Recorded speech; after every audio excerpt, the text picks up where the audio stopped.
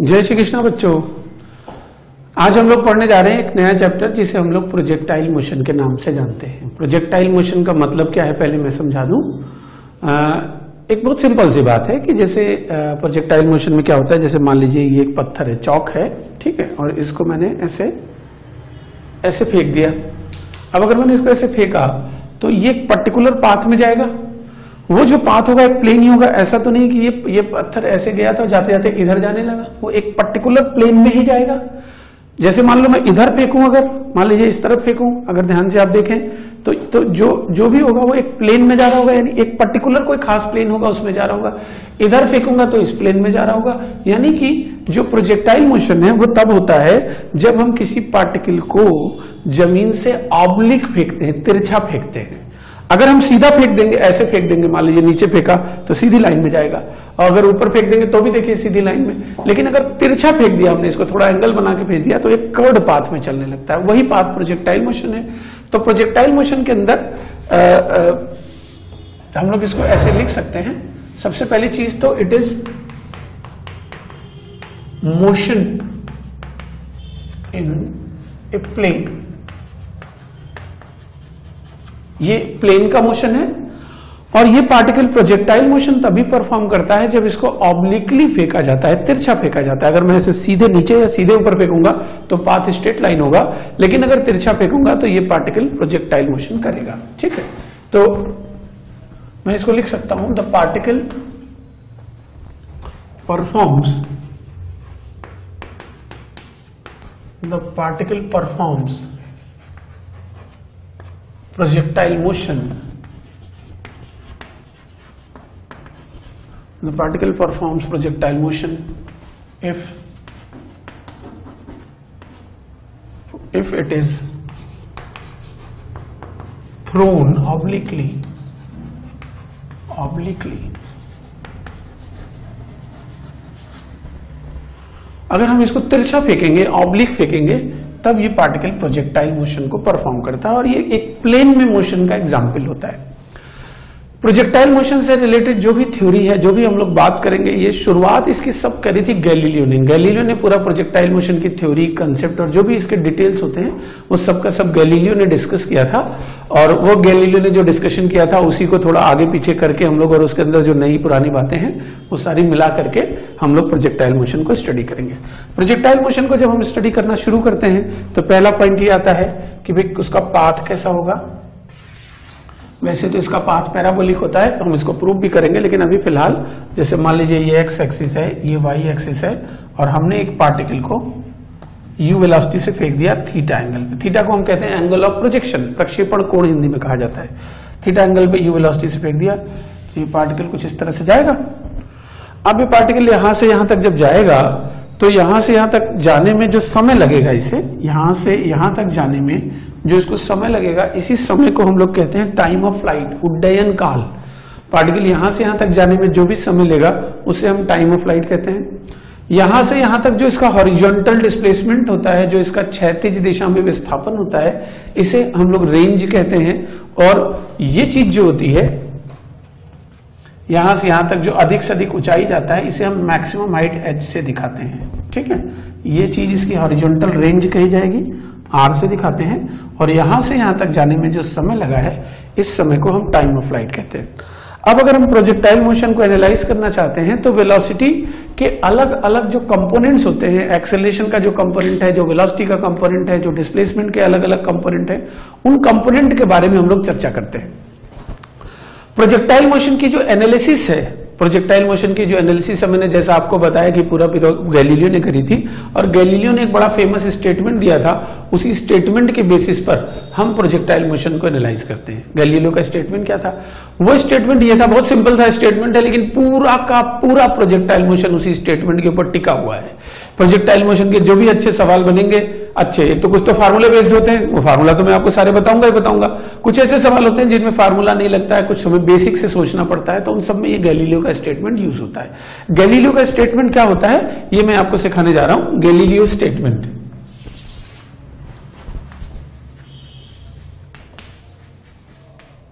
Statement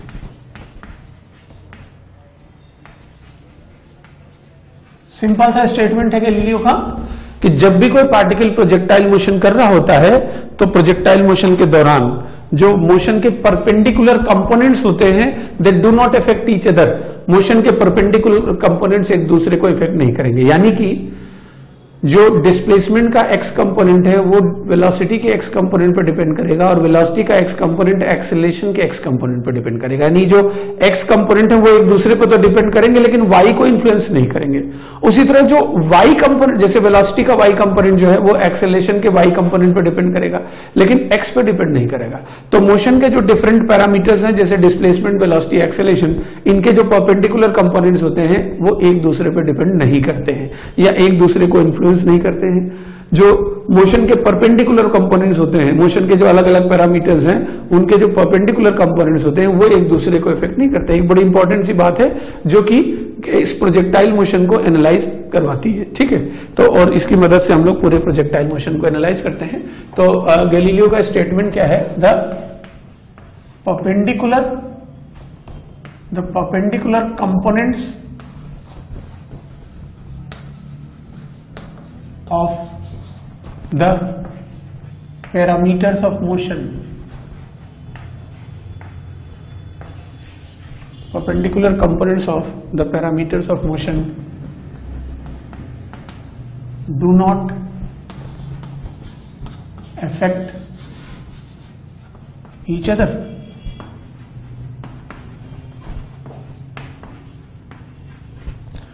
The perpendicular components of the parameters of those uh, parameters of motion do not affect each other. जो motion के perpendicular जो parameters of motion होते हैं जैसे displacement, velocity, acceleration, इनके जो perpendicular component होते हैं वो एक दूसरे को affect नहीं करते यानी उनका एक दूसरे पर कोई प्रभाव x वाले सारे x पे डिपेंड करेंगे y वाले सारे y पे डिपेंड करेंगे x y को नहीं चेंज कर सकता y x को चेंज नहीं कर सकता अब इसका मतलब क्या है ये तो एक स्टेटमेंट हो गया इस स्टेटमेंट का मतलब क्या है? अब मैं इसका मतलब आपको बताने जा रहा हूँ। जैसे मान लेते हैं कि ये पार्टिकल जा रहा है तो इस पार्टिकल की इनिशियली एक्स डायरेक्शन में जो वेलोसिटी थी, उसको मैं यू एक्स मान लेता हूँ, और इनिशियली वाई डायरेक्शन में जो वेलोसिटी थी, उसको मैं यू वाई मान लेता हूँ। तो अगर आप इसकी एक्स डायरेक्शन में वेलोसिटी लिखेंगे इनिशियल वेलोसिटी शुरुआत में जो वेलोसिटी इसकी होगी, वो यू एक्स जो आएगा यू एक्स की जो वैल्यू आएगी that will be equal to u cos theta जो यू वाई आएगा, ये यू साइन थीटा के बराबर हो जाएगा। ये शुरू में वेलोसिटी थी। टी समय के बाद क्या होगी हम देख, देखेंगे अभी। एक्सेलेशन देखा जाए इसका। अगर आप देखें ध्यान से तो ये पार्टिकल जो है इसको धरती तो हमेशा नीचे खींचेगी तो एक्सेलेशन तो इसका हमेशा डाउनवर्ड ही होगा। तो अगर आप ध्यान से देखें तो एक्सेलेशन का जो एक्स कंपोनेंट आएगा ना एक्स कंपोनेंट जो एक्सेलेशन का आएगा वो ज़ीरो आएगा। भाई धरती नीचे खींच रही है तो एक्सेलेशन में सिर्फ़ वाई कंपोनेंट होगा और जो एक्सेलेशन का वाई कंपोनेंट होगा उसको मैं माइनस जी बोल सकता हूँ। एक्सेलेशन का एक्स कंपोनेंट ज़ीरो होगा और एक्सेलेशन का वाई कंपोनेंट माइनस जी के बराबर हो जाएगा। तो अब हम इसको कंपोनेंट में, ये जो पूरा चैप्टर जब हम एनालाइज करेंगे ना तो कंपोनेंट कंपोनेंट खेलेंगे। एक्स वाला सारा अलग रखेंगे वाई वाला सारा अलग रखेंगे और उसके हिसाब से हर जो चीज़ें आती हैं, उनको एक दूसरे से हम रिलेट करेंगे। अब जैसे मैं कुछ और बातें यहाँ पे आपको बताने जा रहा हूँ।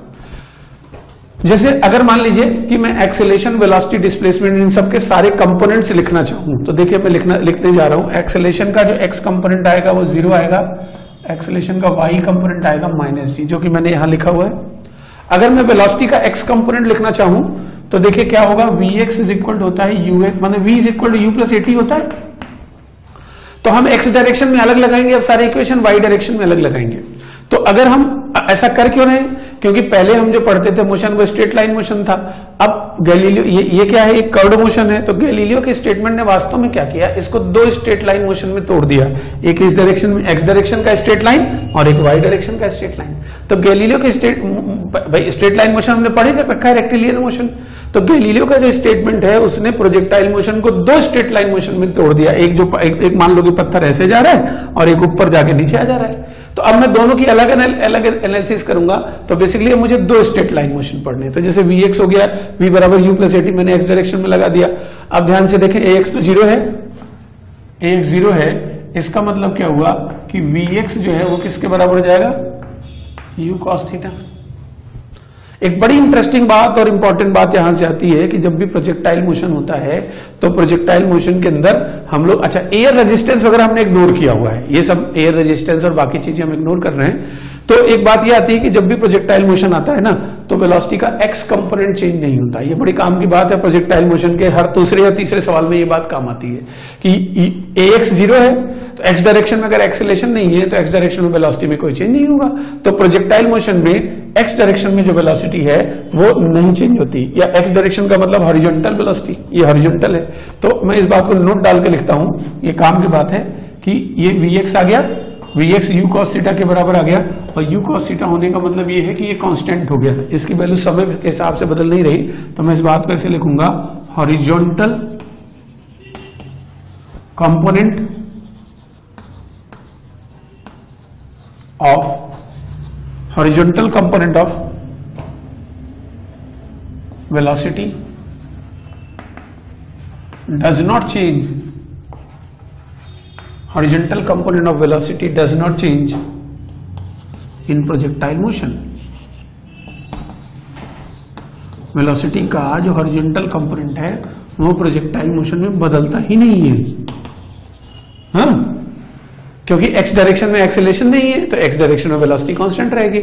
तो वेलोसिटी का जो हॉरिजॉन्टल कंपोनेंट है, वो नहीं बदलता। देखिए ए एक्स ज़ीरो है ए वाई माइनस जी के बराबर है। एक्स जो है यू कॉस सीटा है, चलो मैं यहाँ से वाई भी निकालता हूँ। वाई निकालूँगा मैं। बिल्कुल वाई किसके बराबर होगा? U y plus a y into t इसका मतलब यह है कि वेलोसिटी का जो वाई कंपोनेंट आएगा, वो यू वाई जो है, वो तो हो गया u sine theta a y जो है, वो माइनस जी है इंटू टी तो ध्यान से देखें वेलोसिटी का वाई कंपोनेंट बदल रहा है। वेलोसिटी का जो वाई कंपोनेंट है, वो u sine theta minus g है। जैसे जैसे समय की वैल्यू बढ़ेगी, वैसे वैसे वी वाई घटेगा। एक ऐसा मौका आता है कि समय बहुत ज़्यादा हो जाता है तो वी वाई नेगेटिव आ जाता है। वी वाई नेगेटिव आने का मतलब क्या है? जैसे मान लीजिए पार्टिकल ऊपर जा रहा है एक्स डायरेक्शन में वेलोसिटी ये होगी, ऊपर जा रहा है तो वाई डायरेक्शन की वेलोसिटी ऐसे होगी। जब ये नीचे आ रहा होगा तो एक्स की तो ऐसी होगी, लेकिन वाई वाली वेलोसिटी नीचे आ जाएगी। तो टी की वैल्यू अगर आप बहुत ज़्यादा बढ़ा देंगे, देखें ध्यान से तो अगर टी ज़्यादा बढ़ा देंगे तो वी वाई निगेटिव हो जाएगा। इसी तरह से हम लोग एस एक्स और एस वाई देखते हैं।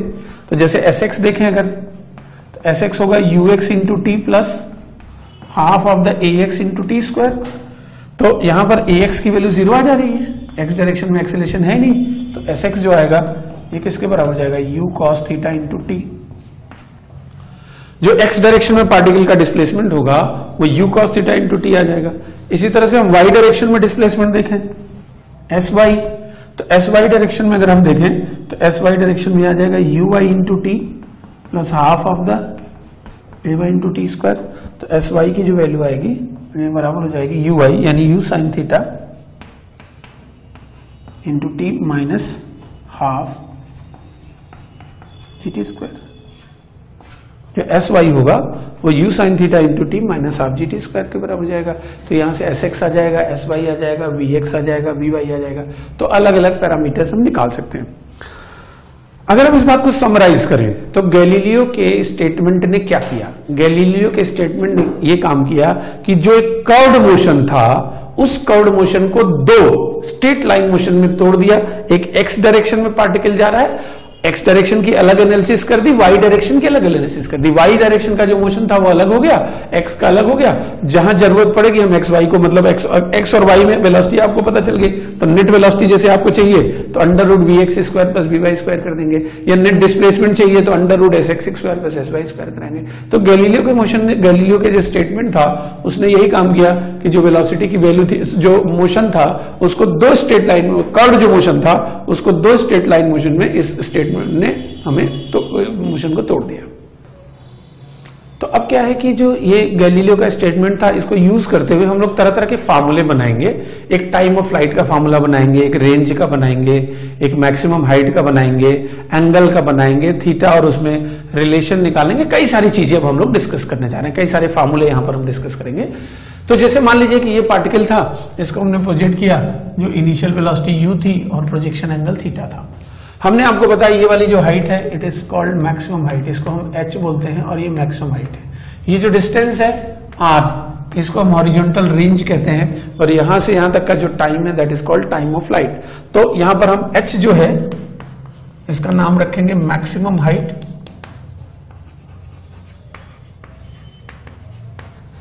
एच का नाम है मैक्सिमम हाइट आर का नाम है हॉरिजॉन्टल रेंज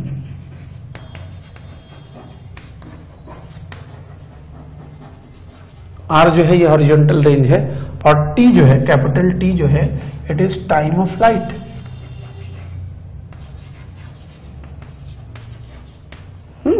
h जो है, वो मैक्सिमम हाइट है आर हॉरिजॉन्टल रेंज है और टी जो है, वो टाइम ऑफ़ फ़्लाइट है.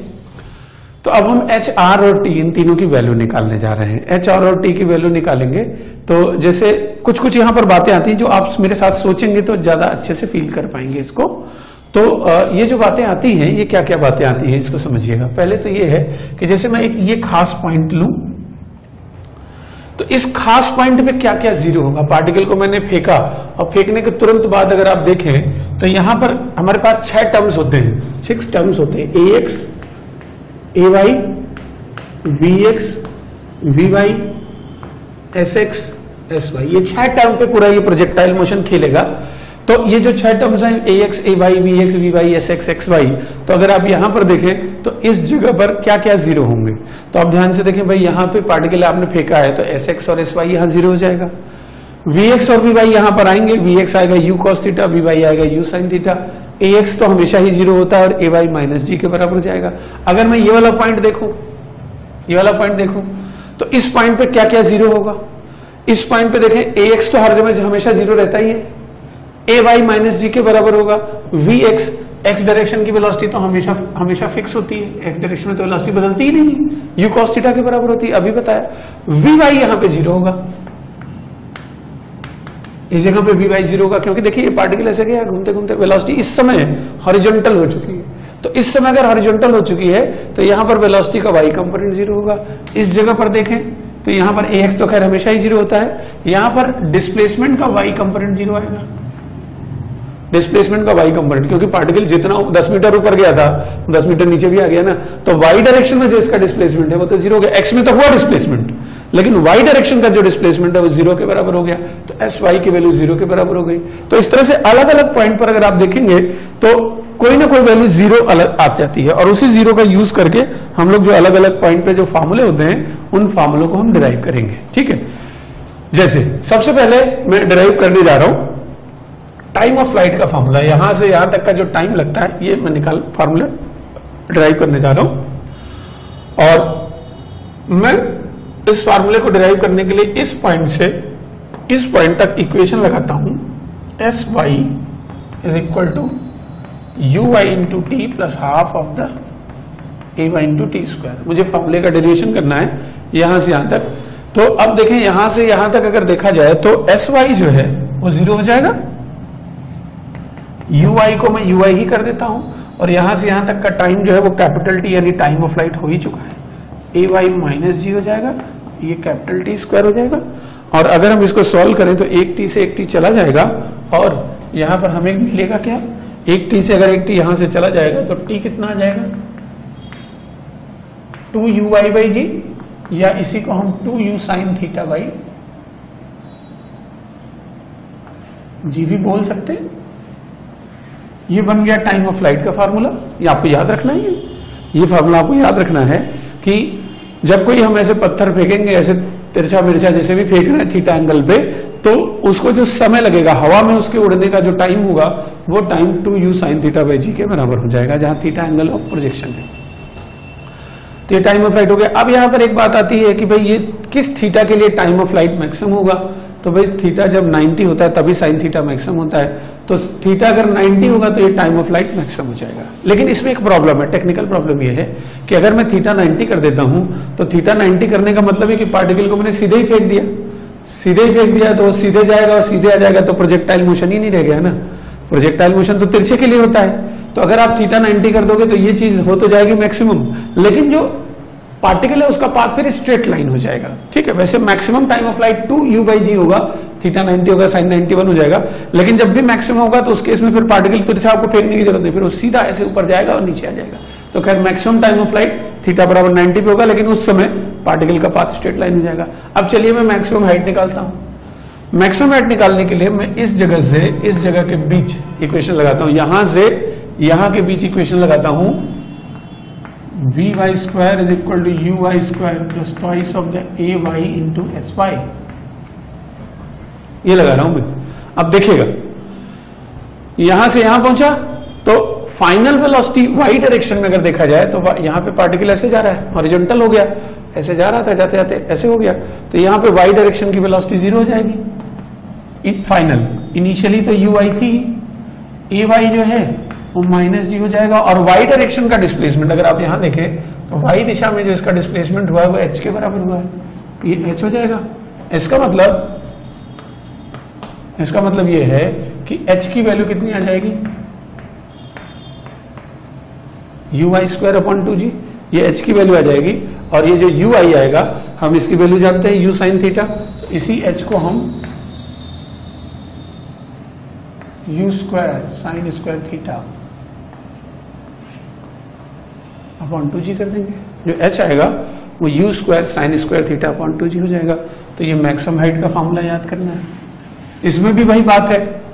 थीटा आप 90 करोगे तो एच मैक्सिमम हो जाएगा। लेकिन अगर थीटा 90 करोगे तो फिर पार्टिकल स्ट्रेट लाइन में जाएगा। भाई सबसे ज़्यादा ज़्यादा ऊंचाई कब हो जब एकदम ऐसे फेंकोगे, तभी तो मैक्सिमम हाइट पे जाएगा ना। अगर तिरछा फेंकोगे तो हाइट मैक्सिमम तो नहीं होगी। तो थीटा बराबर 90 के लिए मैक्सिमम हो जाता है। ठीक है? यहाँ से मैक्सिमम हाइट का फॉर्मूला आ गया। हॉरिजॉन्टल रेंज का फॉर्मूला भी हम यहाँ से निकालने जा रहे हैं। मैं ऐसा करूँगा, यहाँ से यहाँ तक, इस पॉइंट से इस पॉइंट तक मैं ये इक्वेशन लगाऊँगा। S X is equal to X into T plus half of the A X into T square यहाँ से यहाँ तक लगाने जा रहा हूँ मैं। तो अब जैसे यहाँ से यहाँ तक देखेंगे तो जो टोटल टाइम होगा वो टाइम ऑफ़ लाइट के बराबर हो जाएगा। तो अब मैं यहाँ से एस एक्स जो है एस एक्स एक्स डायरेक्शन का इसका डिस्प्लेसमेंट तो आर हो गया। यू एक्स हो गया। टी जो है टोटल टाइम हो गया। टोटल टाइम कितना होता है? Two U I by G A X तो खैर ज़ीरो ही होता है हमेशा ही, ठीक है? तो यहाँ से अगर हम देखेंगे तो आर की जो वैल्यू आएगी आर ये बराबर आ जाएगी two U X U I by G ये रेंज का एक फार्मूला बन जाएगा। ये तीन फार्मूले आपको याद रखने हैं। Two U sine theta by G time of flight होता है। मैक्सिमम हाइट होती है U square sine square theta by two G और जो रेंज आता है, वो two U X U I by G के बराबर जाता है। कई बार ये होता है कि भाई यू एक्स यू नहीं दिया रहता है थीटा दिया रहता है थीटा के टर्म में आंसर चाहिए। तो इसी को मैं थोड़ा सिंप्लीफाई कर लू। सिंप्लीफाई करूँगा तो ये हो जाएगा two by G U X की जगह हो जाएगा यू कॉस थीटा और यू आई की जगह हो जाएगा यू साइन थीटा तो अब ये सॉल्व करने पर आ जाएगा। अब यहाँ से देखें, एक फार्मूला आपको बताया था। Two sine theta cos theta sine two theta हो जाता है। तो यहाँ है two sine theta cos theta तो ये हो जाएगा U square sine two theta by G ये भी फार्मूला है वो जो two sine theta cos theta by G है, वो साइन टू थीटा सॉरी जो two sine theta cos theta है, वो साइन टू थीटा हो जाएगा। तो रेंज का एक और यहाँ पर आ गया U square sine two theta by G ठीक है? यहाँ तक आप इसको समझ लीजिए तो ये रेंज के फार्मूले हो गए। रेंज के दो फार्मूले हो गए मैक्सिमम हाइट के भी दो फार्मूले हैं टाइम ऑफ़ लाइट के भी दो फार्मूले हैं, मैंने यू आई बाई जी या U sine theta by G लिखे। अब इसके अंदर एक बड़ी इंटरेस्टिंग सी बात आती है। कि रेंज किस थीटा के लिए मैक्सिमम होगी? देखिए रेंज किस थीटा के लिए मैक्सिमम होगी? अगर हमें यह पता लगाना है तो साइन टू थीटा को हमें अधिक से अधिक करना पड़ेगा। साइन टू थीटा अधिक से अधिक होगा, यानी टू थीटा को आपको 90 करना पड़ेगा। भाई साइन 91 होता है ना? ठीक है? तो अगर आप रेंज अधिक से अधिक करना चाहते हैं तो टू थीटा को अधिक से अधिक करना पड़ेगा और टू थीटा अधिक से अधिक मतलब सॉरी साइन टू थीटा अधिक से अधिक करना पड़ेगा। तो टू थीटा 90 हो जाएगा तो थीटा 45 डिग्री हो जाएगा। यानी कि रेंज मैक्सिमम तब होती है जब एंगल ऑफ़ प्रोजेक्शन 45 डिग्री होता है। ये बड़ी इंपॉर्टेंट बात है। इस बात को मैं नोट कर देता हूँ। The range is maximum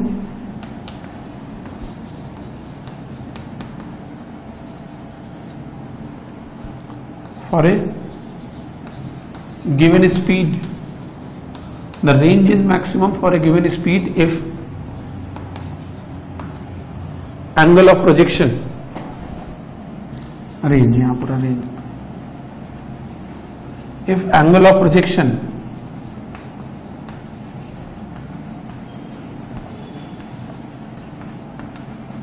is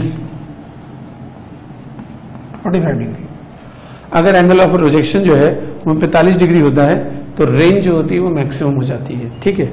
maximum range की वैल्यू आ जाती है। अगर एंगल ऑफ़ ये भाई देखो, मैं रेंज से बड़े से बड़ा करना चाहता हूँ तो साइन टू थीटा को बड़े से बड़ा करना पड़ेगा। साइन टू थीटा बड़े से बड़ा करने का मतलब टू थीटा 90 करना पड़ेगा।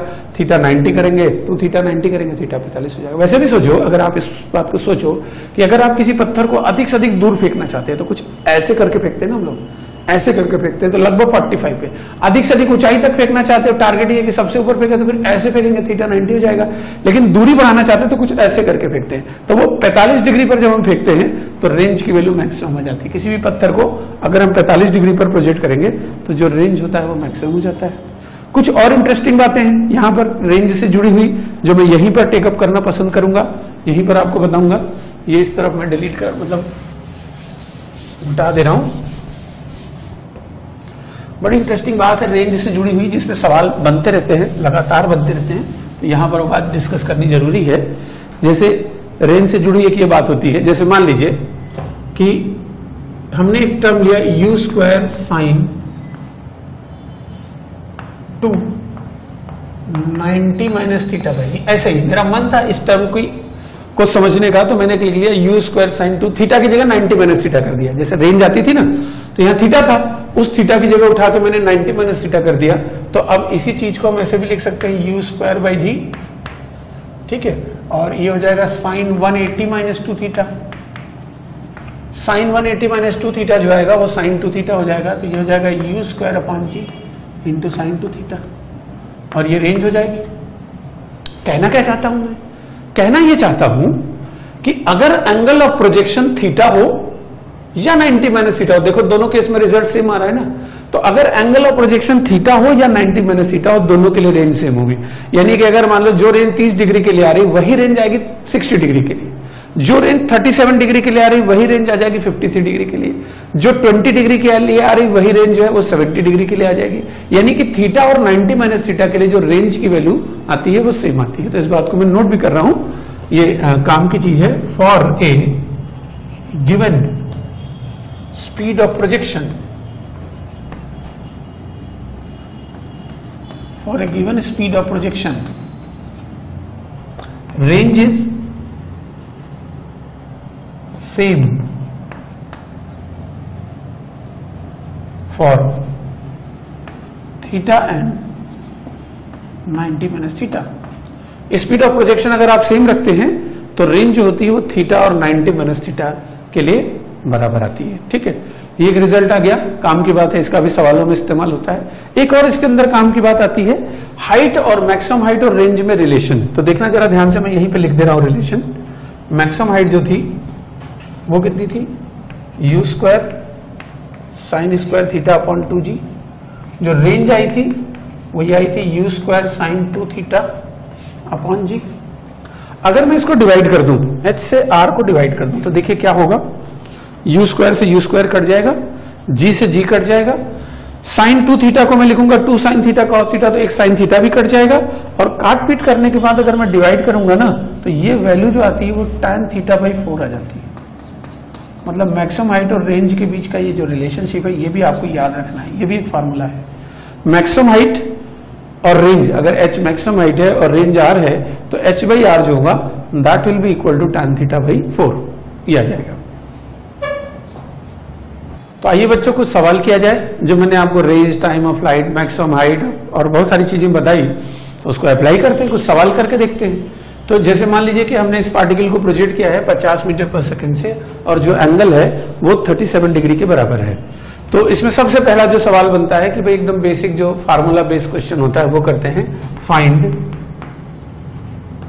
T H and R T का मतलब टाइम ऑफ़ लाइट एच का मतलब मैक्सिमम हाइट आर मतलब रेंज ये तीन चीज़ें आपको निकालनी है।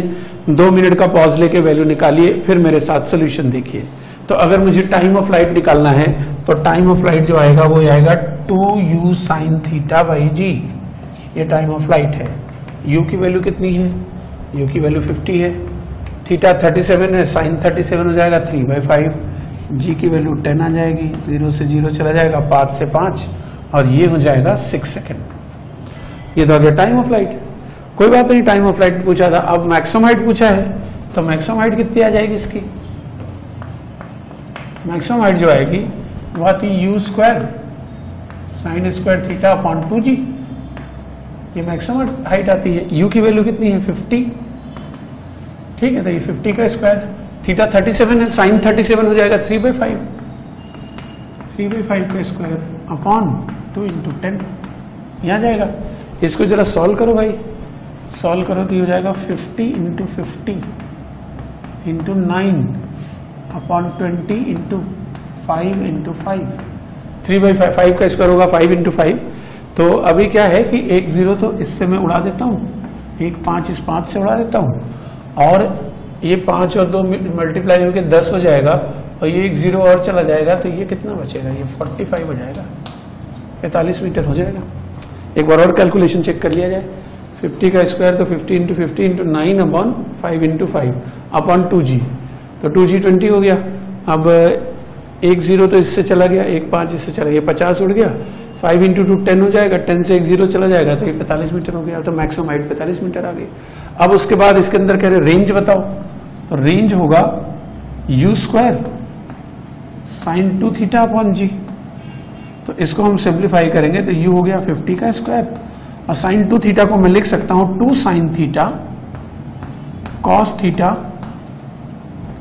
by G ये जाएगा। अब इसको मैं और सिंप्लीफाई करूँगा। तो ये जाएगा fifty into fifty into two into three into four upon ten इधर फाइव इधर फाइव मतलब sine thirty seven three by five cos thirty seven four by five देखो कट पिट रहा है कुछ। हाँ एक ज़ीरो से एक ज़ीरो चला गया एक पाँच से एक पाँच चला गया। और एक पाँच और जाएगा ये टेन हो जाएगा।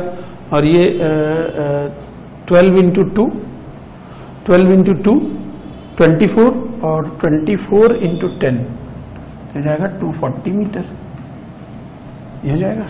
फिर से एक बार चेक कर लेते हैं calculation 50 into fifty into two into three by five into four by five upon G एक ज़ीरो से एक ज़ीरो गया। एक पाँच से एक पाँच गया, एक पाँच बच रहा, उसने इसको काट दिया था दस हो गया। ये four into three twelve into two twenty four into two two forty metre यह जाएगा। तो इस तरह से हम लोग इसका maximum height time of flight range ये निकाल सकते हैं, ठीक है? अब इसमें और भी सवाल बनते हैं, ये तो बेसिक फंडामेंटल पर बेस क्वेश्चन हो गए। अब इसमें कुछ और सवाल हम लोग करते हैं। क्वेश्चंस की अगर हम प्रैक्टिस करेंगे, इसी क्वेश्चन के अंदर एक क्वेश्चन बनता है find the X and Y components of velocity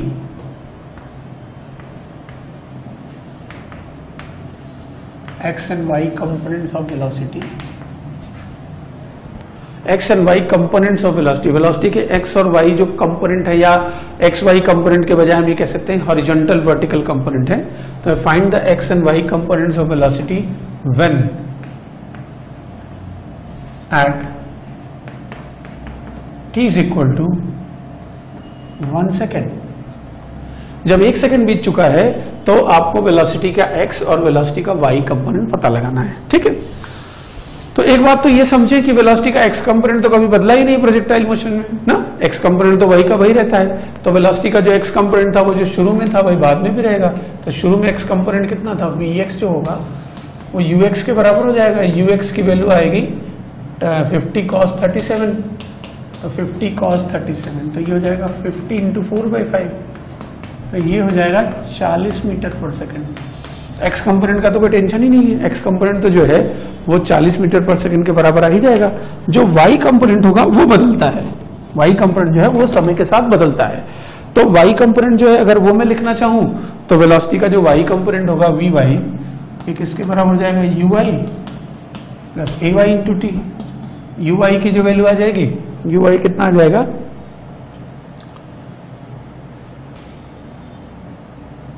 you Y आ जाएगा fifty sine thirty seven plus A Y है माइनस टेन और टाइम इन्होंने एक सेकेंड बोला ही है, एक ही सेकेंड बोला है तो फिफ्टी साइन थर्टी सेवन हो जाएगा थर्टी माइनस टेन ये ट्वेंटी के बराबर हो जाएगा।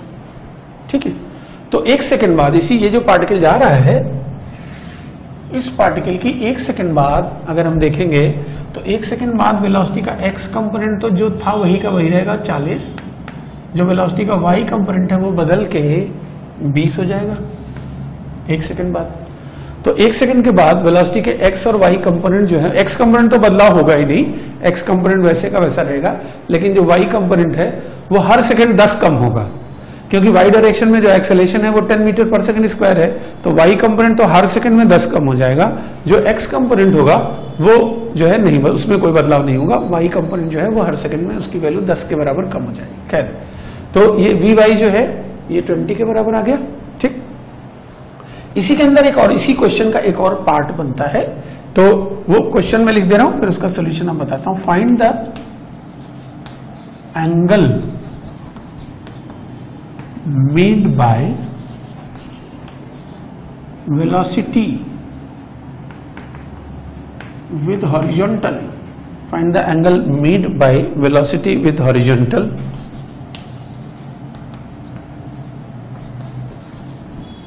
at t is equal to 1 second.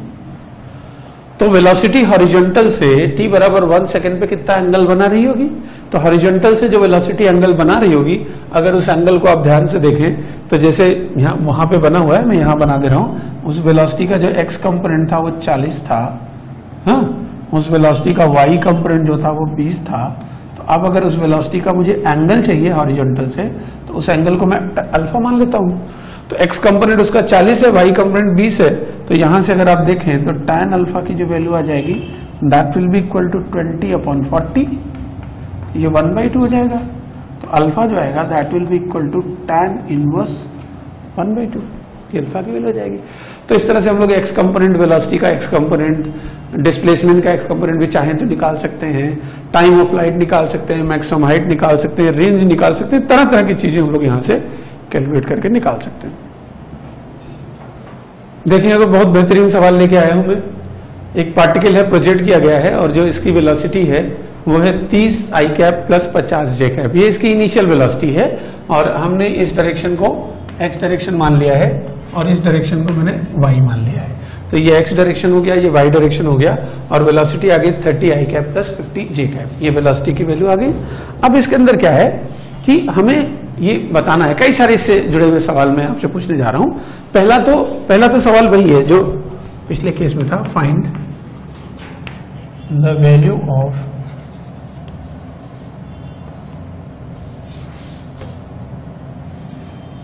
find सब T H and R time of flight बताओ मैक्सिमम हाइट बताओ रेंज बताओ, ये तीन चीज़ें निकालनी है। तो ये जो तीन चीज़ें निकालनी है, इनको निकालने के लिए तो फटाफट हम लोग फार्मूला लगाएँगे। अब इसमें चूँकि हमें वेलोसिटी जो है, उसे थीटा नहीं दिया हुआ है, थीटा की ज़रूरत भी नहीं है। वेलोसिटी हमें जो दी गई है, उसके उसके दोनों कंपोनेंट हमें ऑलरेडी पता है एक्स कंपोनेंट वाई कंपोनेंट दोनों ऑलरेडी पता है। तो टाइम ऑफ़ लाइट तो देखो फट से आ गया। Two U I by G U I जो है, इसकी वैल्यू कितनी हो गई? पचास। और जी वो है टेन हो गया तो ये कितना आ जाएगा? दस सेकेंड। इसका उड्डयन काल हवा में उड़ने का जो टाइम है वो 10 सेकंड आ गया, ठीक है? तो हिंदी में उड्डयन काल कहते हैं। तो ये 10 सेकंड आ गया। अभी अगर हम इसकी मैक्सिमम हाइट निकालना चाहते हैं तो इसी की जो मैक्सिमम हाइट आएगी, वो किसके बराबर आएगी? U Y square upon two G तो यू वाई जो है वाई डायरेक्शन की वेलोसिटी है 50 तो 50 का square upon two into ten zero चला जाएगा। और ये 125 मीटर आ जाएगा 125 मीटर निकालना है रेंज तो रेंज निकालना है तो रेंज हो जाएगा two U X U Y by G हाँ? तो ये two U X X direction में वेलोसिटी है तीस हाँ? और वाई डायरेक्शन में वेलोसिटी है इसकी पचास बाई टेन ये सॉल्व करने पे हो जाएगा तीन सौ मीटर। तो खैर, हम लोग maximum height range time of flight ये सारी चीज़ें निकाल सकते हैं। ठीक है? अभी इसके अंदर और भी सवाल बनते हैं। तरह तरह के सवाल बनते हैं। इसके अंदर एक सवाल ये बनता है। प्रैक्टिस के लिए मैं दे रहा हूँ। इसी पे बेस्ड अगला क्वेश्चन जो बन रहा है। इसी इसी पर बेस्ड है। वो ये है find the angle made by velocity find the angle made by velocity with horizontal find the angle made by the velocity with horizontal at t is equal to two second जब घड़ी में दो second मतलब पत्थर फेंकने के दो second के बाद ये जो प्रोजेक्टाइल है, ये हॉरिजॉन्टल के साथ कितना एंगल बना रहा है, ये आपको बताना है। तो जब आप इस प्रोजेक्टाइल को फेंकेंगे तो फेंकने में खास बात इसकी यही है कि जो एक्स डायरेक्शन की वेलोसिटी है, वो तो कभी बदलती नहीं आज दिन तक नहीं बदली तो आज भी नहीं बदलेगी। तो एक्स डायरेक्शन की जो वेलोसिटी है, वो तो वही की वही बनी रहेगी, जो थी थी कितनी? थर्टी। बदलाव आएगा, लेकिन वाई डायरेक्शन की वेलोसिटी में आएगा। एक्स डायरेक्शन की वेलोसिटी में कोई बदलाव नहीं आएगा। तो अगर हम वाई डायरेक्शन की वेलोसिटी निकालना चाहें, जैसे इस क्वेश्चन को मैं जब भी मैं क्वेश्चन देता हूँ तो आप एक दो मिनट का समय लेके पहले खुद किया कीजिए पॉज करके, फिर सॉल्व मेरे साथ करें। तो t is equal to two second पे अगर मैं देखूँ तो v y is equal to u y plus a y into t हाँ वी वाई हमें पता लगाना है। यू वाई जो आएगा, ये आया था 50 ए वाई है माइनस टेन इंटू टू ये आ जाएगा 30 तो वी वाई थर्टी आ गया। और वी एक्स तो थर्टी पहले से ही था तो बड़ा इंटरेस्टिंग सवाल हो गया। वी एक्स पहले से थर्टी था, और दो सेकंड के बाद जो वेलोसिटी का वाई कंपोनेंट है, वो भी थर्टी आ गया। खत्म बात। अब अगर किसी वेक्टर के दोनों कंपोनेंट अगर थर्टी थर्टी आ रहे हैं तो ये एंगल कितना हो जाएगा? पैंतालीस डिग्री हो जाएगा। तो ये हॉरिजॉन्टल से पैंतालीस डिग्री का एंगल बना रहा होगा। ठीक है। दो सेकंड के बाद। और दो सेकंड के बाद ये हॉरिजॉन्टल से 45 डिग्री का एंगल बना रहा होगा, और थोड़ा ध्यान से देखें तो यही पार्टिकल जब नीचे उतरते समय यहाँ पर होगा ना तो उस समय भी ये हॉरिजॉन्टल से उतना ही एंगल बना रहा होगा। क्योंकि उस समय देखो एक्स डायरेक्शन में तीस होगा और वाई में भी तीस ही आएगा, बस डाउनवर्ड डायरेक्शन में आएगा ना। सेम हाइट पर सब कुछ सेम रहता है। तो जैसे जब ऊपर जा रहा था तो वाई डायरेक्शन की वेलोसिटी इस हाइट पे तीस थी, जब नीचे आ रहा होगा तो इस पर भी तीस रहेगी, लेकिन डाउनवर्ड डायरेक्शन में रहेगी। तो दो बार ऐसा होगा कि ये एंगल 45 डिग्री हॉरिजॉन्टल से बनाएगा, एक बार यहाँ बनाएगा, एक बार यहाँ बनाएगा। यहाँ से यहाँ से यहाँ तक का टाइम मैं निकाल सकता हूँ? देखिए, यहाँ से यहाँ तक का टाइम मैंने निकाला दो सेकंड बताया था। यहाँ से यहाँ तक का दो सेकंड था और टोटल टाइम था दस सेकंड तो यहाँ से यहाँ तक का टाइम आठ सेकंड हो जाएगा। तो एक बार आठ सेकंड के बाद भी हॉरिजॉन्टल से 45 बनाएगा और दो सेकंड के बाद तो हॉरिजॉन्टल से 45 बना ही रहा था वो तो निकाल ही लिया हमने। आठ सेकंड बीतेंगे तो भी हॉरिजॉन्टल से 45 डिग्री का एंगल बनाएगा। ठीक है? तो इस तरह से प्रोजेक्टाइल मोशन के अंदर हम लोग तरह तरह की जो सिचुएशन होती है, उनसे जुड़े हुए सवाल करते हैं और तरह तरह के सवाल इसमें बनते रहते हैं। एक और सवाल मैं आपको देने जा रहा हूँ। इसी प्रोजेक्टाइल मोशन से जुड़ा हुआ है। वो सवाल ये है कि ये जो प्रोजेक्टाइल है, मैंने इसको प्रोजेक्ट किया है यू स्पीड से। थीटा एंगल पे। यू स्पीड और थीटा एंगल पे प्रोजेक्ट किया मैंने। अब इसके अंदर एक सवाल ये बनता है क्वेश्चन ये है find the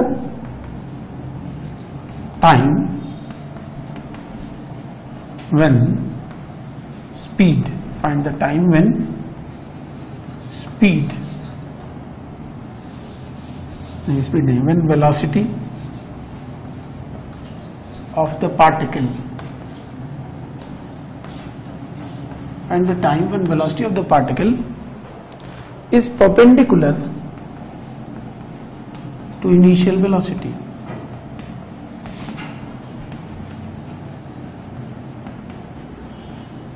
कहने का मतलब ये है कि भाई आपने यू वेलोसिटी से फेंका यू वेलोसिटी से पार्टिकल को फेंका।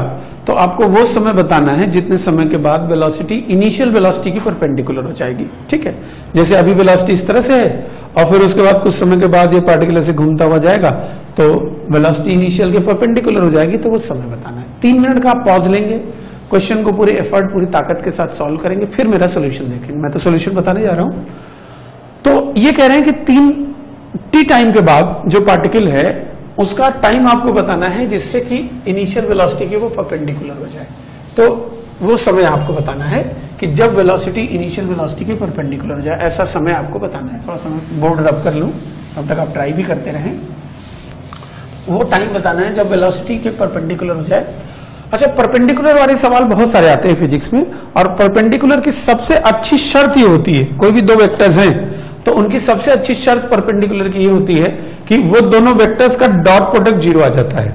अगर हमें परपेंडिकुलर की पहचान करनी है तो उसमें डॉट प्रोडक्ट ज़ीरो आता है। तो जैसे मान लीजिए ऐसे जा रहा है, इस तरह से।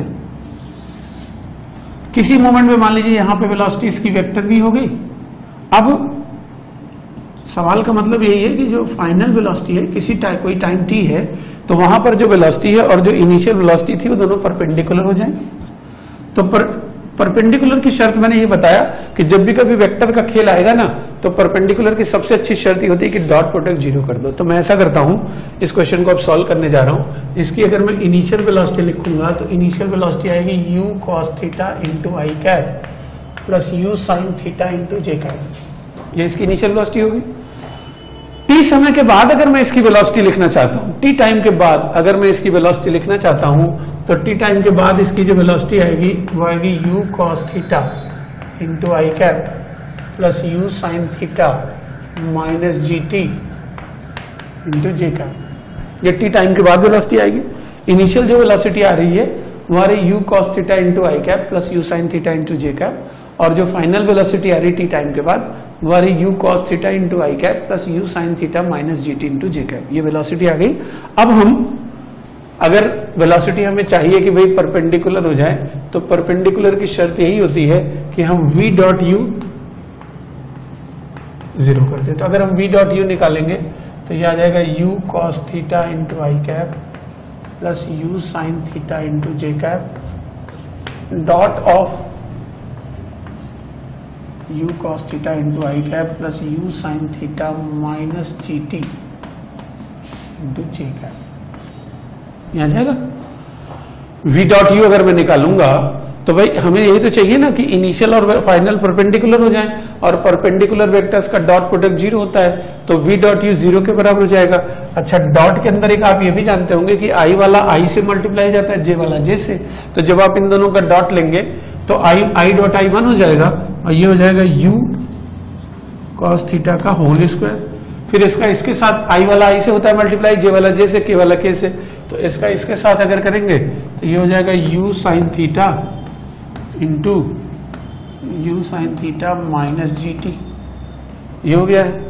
U sine theta into u sine theta minus g t हो गया। अब इसको सॉल्व किया जाए। ज़ीरो इज़ इक्वल हो जाएगा u square cos square theta plus u square sine square theta minus u sine theta into g t ये हो जाएगा।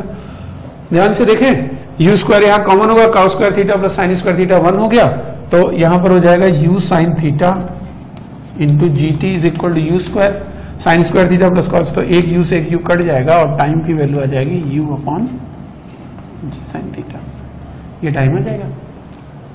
तो जब घड़ी में टाइम मतलब या फेंकने के इतने समय के बाद जो टाइम आएगा वो u upon g sine theta के बराबर हो जाएगा। तो एक ये इसका मेथड हो गया। इसको नोट कर लें तो मैं दूसरा मेथड सिखाता हूँ। अब इसका दूसरा मेथड समझें। ये तो मतलब सिस्टमेटिक तरीका था, बढ़िया तरीका था कि हमें हर कभी भी परपेंडिकुलर का कोई सवाल आएगा, दोनों को वेक्टर फॉर्म में लिख के डॉट प्रोडक्ट ज़ीरो करके सॉल्व कर लेंगे। अब इसको करने का एक महीन तरीका है। जिसके अंदर हम गैलीलियो का स्टेटमेंट यूज़ करेंगे और गैलीलियो का स्टेटमेंट बहुत बारीकी से यूज़ करेंगे।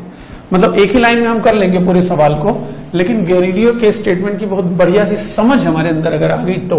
बहुत ही फाइन अगर अंडरस्टैंडिंग है। देखें, मैं ऐसा करता हूँ, गैलीलियो का स्टेटमेंट मैं किसी भी डायरेक्शन में लगा सकता हूँ तो इस डायरेक्शन में मैं गैलीलियो का स्टेटमेंट अप्लाई करता हूँ। इस डायरेक्शन में, ये जो डायरेक्शन है ना इस डायरेक्शन में मैं गैलीलियो का स्टेटमेंट अप्लाई करता हूँ। तो इस डायरेक्शन में अगर मैं अप्लाई करूँगा, v is equal to u plus e समझिएगा? इसी डायरेक्शन में, किसी भी डायरेक्शन में आप गैलीलियो का स्टेटमेंट अप्लाई कर सकते हो। तो अगर मैं इसमें v is equal to u plus at लगाऊँगा तो देखिए वैसे तो एक्सेलेशन g होता है। लेकिन इस g का, इस डायरेक्शन में जो कंपोनेंट आएगा, इस g का, इस डायरेक्शन में जो g का, ये थीटा है ना, ये 90 माइनस थीटा हो जाएगा। तो g का इधर जो कंपोनेंट आएगा, ये आ जाएगा g साइन थीटा तो इस डायरेक्शन में अगर देखा जाए तो देखिए इनिशियल इस शुरू में इस डायरेक्शन में वेलोसिटी यू थी, और फाइनली जो वेलोसिटी है, वो तो इसके परपेंडिकुलर है। तो इसके परपेंडिकुलर है तो इस डायरेक्शन में उसका कंपोनेंट तो ज़ीरो आ जाएगा। तो फाइनल वेलोसिटी तो हो गई ज़ीरो इस डायरेक्शन में। इनिशियल वेलोसिटी इस डायरेक्शन में यू है, और एक्सेलेशन इसी डायरेक्शन में जी साइन थीटा है। इंटू टी तो टाइम की वैल्यू यहाँ से u upon g sine theta जाएगी। भाई हम इसी डायरेक्शन में v बराबर u प्लस हम तो किसी भी डायरेक्शन में v बराबर u प्लस लिख सकते हैं। तो हमारी मर्ज़ी है। तो हमने इस डायरेक्शन में लिखना पसंद किया। फाइनल वेलोसिटी इस इस लाइन के परपेंडिकुलर है तो परपेंडिकुलर तो इस लाइन के लॉन्ग फाइनल वेलोसिटी ज़ीरो आ गई। इस लाइन के लॉन्ग एक्सेलेशन जो आएगा वो जी, जी है वैसे तो जी होता है लेकिन इधर आ जाएगा g sine theta final velocity zero हो गई। इनिशियल इस लाइन के लॉन्ग यू थी तो u minus g sine theta into t तो टी की वैल्यू आ गई u upon g sine theta